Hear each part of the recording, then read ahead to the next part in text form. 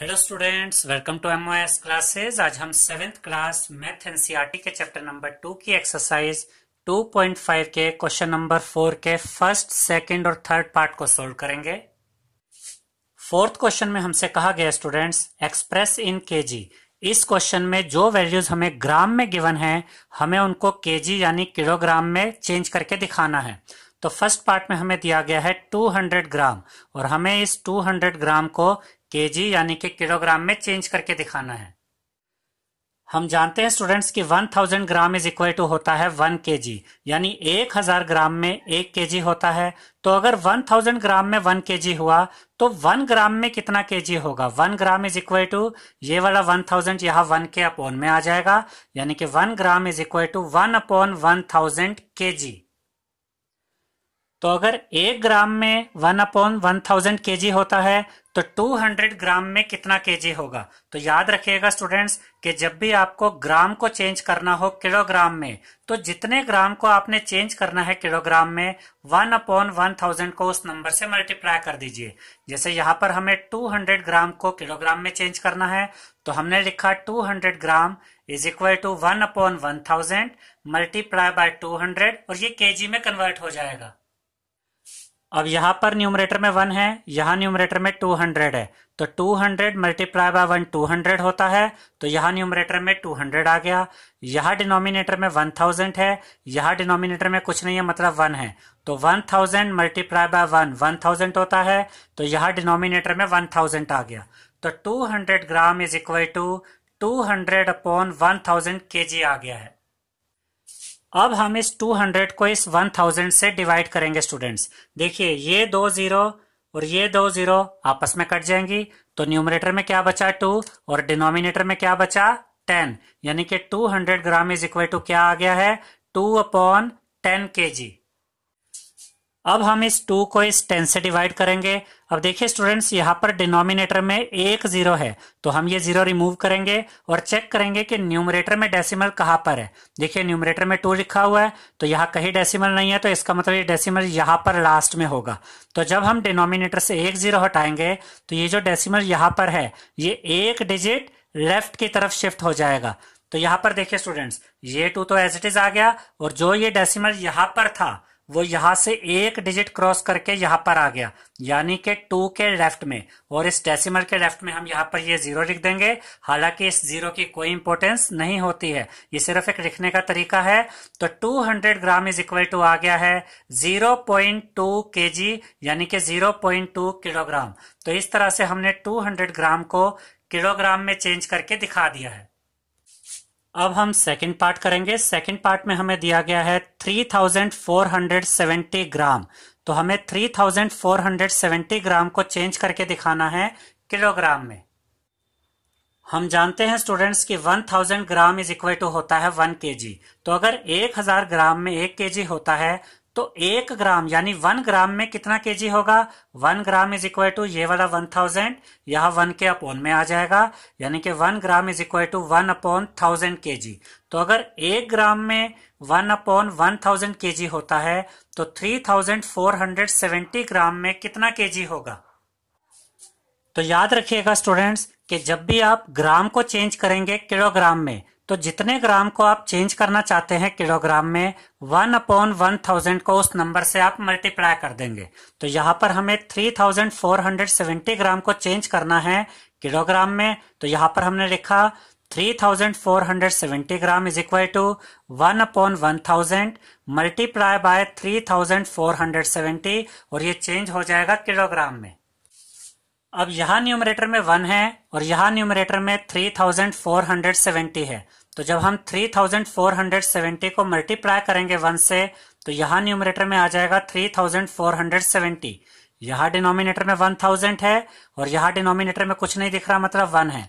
तो जब हम 1000 को मल्टीप्लाई करेंगे वन से तो यहाँ डिनोमिनेटर में आ जाएगा 1000 तो 3470 ग्राम इज़ इक्वल टू आ गया है 3470 अपॉन 1000 केजी। अब हम इस 3470 को डिवाइड करेंगे 1000 से। अब ध्यान दीजिए स्टूडेंट्स के नीचे डिनोमिनेटर में देखिए यहाँ तीन ज़ीरो है। अगर हम ये तीन ज़ीरो हटाते हैं तो उसके बाद हम चेक करेंगे कि न्यूमरेटर में डेसिमल कहाँ पर है। तो यहाँ पर कहीं डेसिमल नहीं दिख रहा है, इसका मतलब डेसिमल यहाँ लास्ट में होगा। तो अगर डिनोमिनेटर से हमने तीन ज़ीरो हटाई तो यहाँ पर जो ये डेसिमल है, ये यहाँ से तीन डिजिट लेफ़्ट की तरफ़ शिफ्ट हो जाएगा। तो देखिए ये थ्री फोर सेवन ज़ीरो हमने यहाँ पर एज इट इज़ लिखा। Three four seven zero.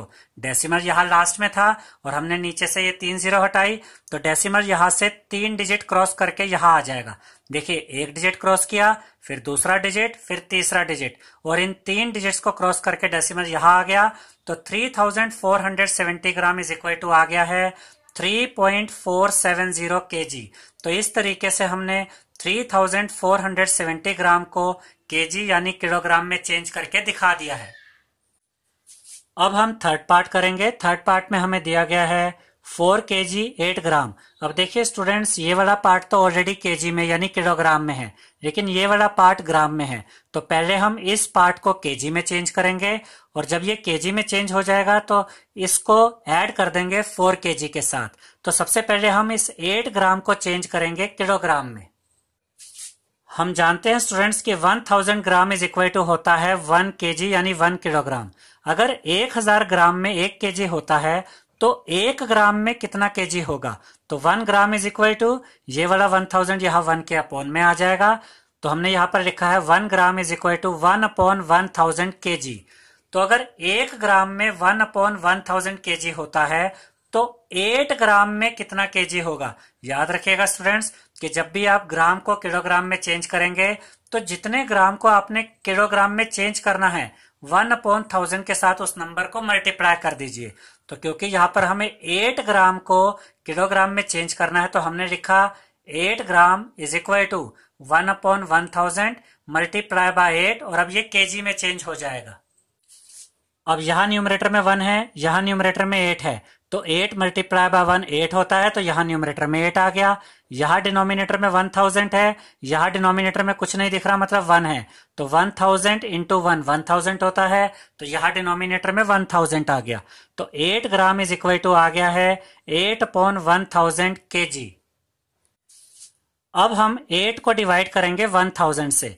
अब देखिए स्टूडेंट्स यहाँ पर डिनोमिनेटर में तीन ज़ीरो हैं। हम सबसे पहले तो ये तीन ज़ीरो यहाँ से हटाएँगे और चेक करेंगे कि न्यूमरेटर में डेसिमल कहाँ पर है। न्यूमरेटर में तो एट है तो जब यहाँ कहीं डेसिमल न दिखे तो समझ जाइए डेसिमल यहाँ एंड में है।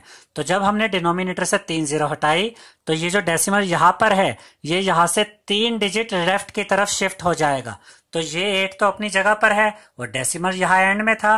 तो जब हमें डेसिमल को तीन डिजिट लेफ़्ट की तरफ़ शिफ्ट करना है तो देखिए पहले इसने एट के एट को क्रॉस किया, उसके आगे तो कोई डिजिट नहीं थी तो हमने यहाँ पर दो ज़ीरो लगा दी। देखिए, पहले इसने एट को क्रॉस किया, फिर इस ज़ीरो को और फिर इस ज़ीरो को। तो एक डिजिट क्रॉस हुई, दूसरी डिजिट क्रॉस हुई तीसरी डिजिट क्रॉस हुई और डेसिमल यहाँ पर आ गया। और डेसिमल के लेफ़्ट में हम ये ज़ीरो लगा देंगे। तो eight gram is equal to आ गया है zero point zero zero eight K G तो इस तरह से हमने एट ग्राम को के जी यानी किलोग्राम में चेंज कर दिया है। अब हमारा मेन क्वेश्चन तो ये था स्टूडेंट्स कि हमें फोर के जी एट ग्राम को पूरी तरह से के जी में कन्वर्ट करके दिखाना था। तो हमने लिखा four K G eight gram is equal to four K G तो एज इट इज़ आ गया और उसमें हमने ऐड कर दिया एट ग्राम को के जी में कन्वर्ट करके जो आंसर आया था उससे। तो एट ग्राम को जब हमने के जी में कन्वर्ट किया था तो हमें मिला था zero point zero zero eight K G तो अब हम फोर के जी और zero point zero zero eight के आपस में ऐड कर देंगे, क्योंकि अब ये दोनों ही के जी में आ चुके हैं।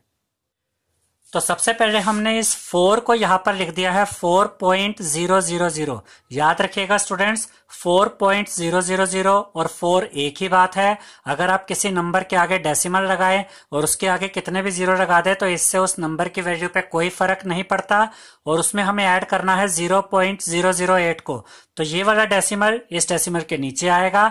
डेसिमल के लेफ़्ट में ज़ीरो है डेसिमल के लेफ़्ट में ज़ीरो आ गई। डेसिमल के राइट में ज़ीरो ज़ीरो एट है तो डेसिमल के राइट में हमने लिखा ज़ीरो ज़ीरो एट अब हम इन दोनों को ऐड कर देंगे। अब देखिए एट प्लस ज़ीरो एट होता है तो यहाँ पर एट आ गया। ज़ीरो प्लस ज़ीरो यहाँ पर ज़ीरो आ गया। ज़ीरो प्लस ज़ीरो ये भी ज़ीरो आ गया। डेसिमल यहाँ पर एज इट इज़ आया। फोर प्लस ज़ीरो फोर होता है तो यहाँ पर फोर आ गया। तो हमें फाइनली मिल गया है four point zero zero eight तो four K G eight gram is equal to आ गया है four point zero zero eight K G तो इस तरह से हमने फोर के जी एट ग्राम को पूरी तरह से के जी यानी कि किलोग्राम में चेंज करके दिखा दिया है। आई होप स्टूडेंट्स आपको हमारा ये वीडियो पसंद आया होगा। अगर आपको हमारा ये वीडियो पसंद आया है तो इसे लाइक शेयर और सब्सक्राइब कीजिए। Thank you